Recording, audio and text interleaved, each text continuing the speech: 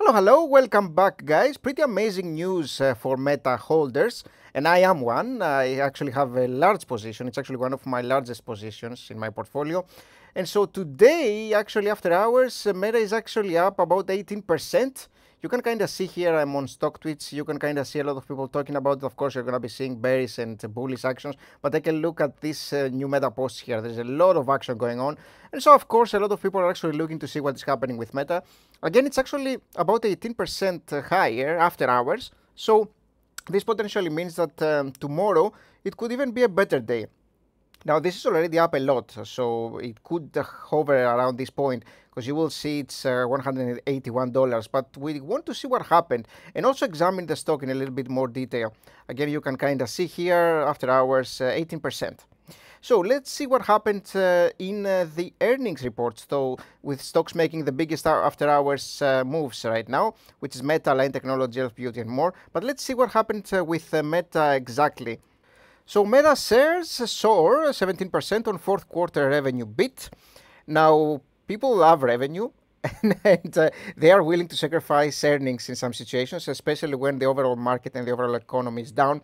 At least you have the sales to back uh, your um, uh, pretty much business. So let's see what happened here. The Meta Meta exceeded estimates, and I have talked about it. Like Meta has been bust in the past for a couple of quarters, and uh, when a company has been bust so much and it's been down like 50%, 60%, you can expect um, low expect you, you can have low expectations, and even the slightest bit can actually make send the stock soaring. And this is what ha what's happening with Meta right now. As you'll see, Meta shares uh, popped since uh, this is probably one of the most important things and it's extremely awesome, like I love this one, the fact that they announced a $40 billion stock buyback. That's insane. That's a lot. Because take a look at, uh, again, you, you can see in our tool here, uh, obviously, all our patrons have access to our tool. You can find the links in the description box below this video if you're interested. But you will see that the current market cap of the company is $400 billion. So buying back $40 billion is 10% of the float. And they have already been buying back their shares. So this is going to be going lower. And this is fantastic, obviously, because now my shares and your share, your shares are worth more. And so, you know, this is fantastic for investors. Great news. And it's one of the core reasons why the stock is up.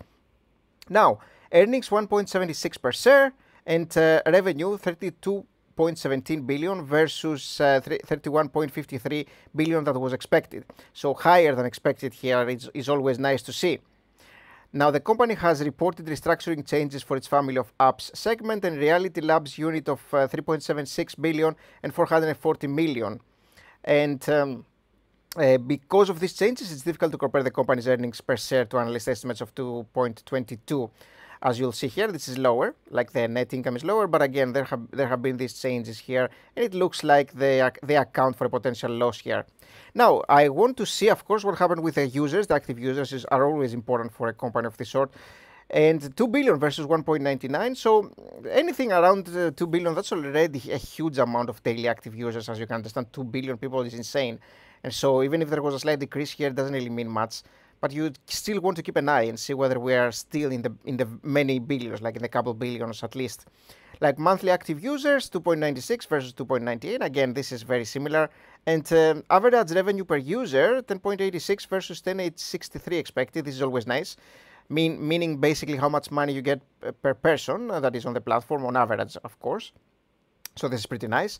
Now, revenue in the fourth quarter fell 4% from a year earlier, expected, of course but it's not uh, it's, it's not falling as much as uh, some analysts would potentially expect here, marking a third straight quarter of declining sales. Again, uh, again, this is expected. As I mentioned earlier, there have been a couple of quarters where the company has been completely annihilated.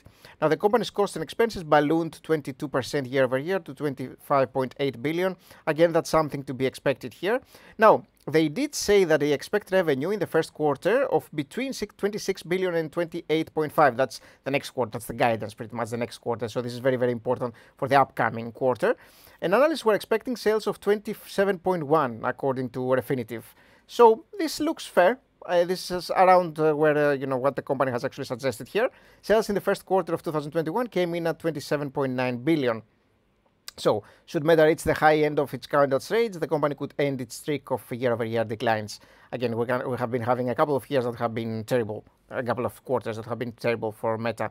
Now, they have increased their headcount, headcount uh, 20% year-over-year. That's quite a lot, actually. I didn't expect that. And the company expects that its total expenses will be in the range of 89 billion to 95 billion, which is lower than expected. This is another thing that investors like in this current environment, of course. We want companies to cut down on uh, expenses that are not really needed because there is a problem with the overall economy. And so we want them to kind of, you know, be careful about how they're spending money. The same thing we want with our governments and we never get. We do want it for our stocks for sure. Now, the very, very important thing, the thing that I mentioned earlier, $40 billion increase to its stock repurchase plan. Remember, they already had the repurchase plan, so they, adding, they are adding 40 billion on top of this one. So this is insane. This is amazing. I love that. This is, regardless of what's happening in the earnings, this is exactly what I wanted to hear. I don't, I don't really mind what is happening the, with the earnings because I know that this is a temporary thing, you know, that is based on the overall economy right now. But the $40 billion buyback, I totally get it and I, I'm totally for it, 100%. And so the company already bought back 27.9 billion worth of its shares last year. So they keep buying and buying now that the stock is actually lower and uh, pretty much uh, very cheap since they, ha- they have plummeted, the shares have plummeted by over 60% last year. It's nice that I, I did buy my shares uh, back in the previous crash. Remember the Cambridge Analytica crash? It was like 2020, something of that sort. And uh, I bought it, when I bought it, it was like $158, and I thought that I was getting a fantastic price, and I was because the stock then shot up, but then it went down again. And so right now I'm still in the green finally, going back in the green, but uh, that, that, that, has been a pretty interesting ride so far. But um, we do want to kind of see what is happening right now with the metrics of the company. Like we have talked about Meta obviously a lot uh, in uh, my channel because it's one of the companies that I really like for a long-term hold. I think it's a fantastic uh, fundamental stock, pretty much fundamental company to own. Because take a look at the P ratio 15 uh, for a company of this sort. Take a look at how how much lower it has been going, like less than than half what it used to be. And uh, the same thing with the price to free cash flow, or even better, frankly. Fantastic. And this is going down uh, more Another thing that I absolutely love to see, take a look at this one. It's going down and down and down and down and down. That's exactly what I want to see with my outstanding shares. And so this is fantastic news over here. And everything is looking fantastic. Like the revenue has been growing in the previous uh, years, net income, free cash flow, everything has been doing great. Again, we do know ab about the most recent quarters where, you know, like the margins have been going down a little bit and the company has been having some quarters that were not uh, great and they were uh, losing some money. This is These are known things it was the fiscal year, the 2021, that was still positive, but after that, some quarters were negative, and we do know about this one. However, however, uh, the company's stock is super cheap, and uh, I think again for the long run, it's a fantastic investment. This is why I have it in my portfolio. Now, I want to take a little bit of a look just to summarize the video and pretty much end it here.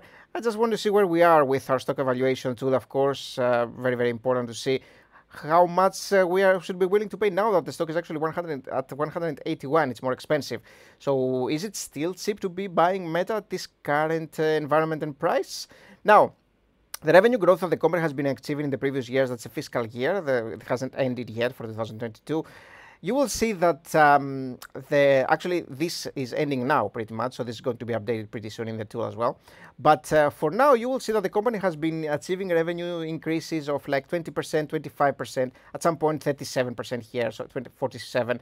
But we have to go much, much lower because we are in at an era where uh, all companies are struggling right now. We could maybe, maybe, who knows, enter a recessionary period. So we kind of have to be cautious. So I'm going to go with much lower values, 8, 10, and 12. That's a five-year discounted cash flow model. Remember this one. So you can go a little bit higher. It makes sense. But if you're looking at like a 10-year or 20 years, 30 years, whatever, you probably have to go even lower. But uh, net income margins of um, we are going to go with again something that is lower. You can kind of see here what the company has been achieving, almost always more than 30%. One year they had 26, so I will actually try that. I would go 26 for one year, and then I will go 28 and 30, which I think they should comfortably achieve for the next five years. And remember, this is a software company; they are selling ads pretty much.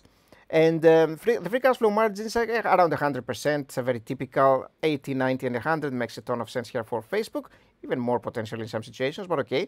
13% is uh, the annual return that I'm going to be asking for in uh, for Meta, from Meta.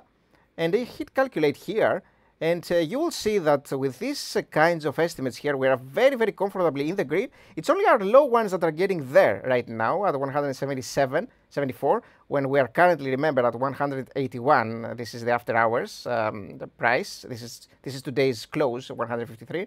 But again, the after hours, uh, when the market opens tomorrow, is probably going to be 180, 181. So we are there over here. Our medium ones, though, are 229 with a 10% revenue growth, and uh, the high one uh, almost 300 bucks with a 12% revenue growth. And I think, frankly, this is probably the most representative, uh, to be to be sincere. so, obviously, I wouldn't buy if it was $300 today, but uh, somewhere around um, where it is right now 180 190 200 bucks maybe even 220 i think it's a fair fair value here for uh, for Meta. So I have been I have been saying it for a while now. I think this is a very valuable company to be holding. So do tell me what you think about Meta, guys. Um, what are you expecting from other tech companies as well? And uh, tell me whether you are buying, whether you are selling, what ha you have been doing with Meta. I'd love to hear your comments. And remember to leave a like and subscribe, of course, if you are new around here. I'll see you in the very next video. Thanks for watching again. Bye-bye for now.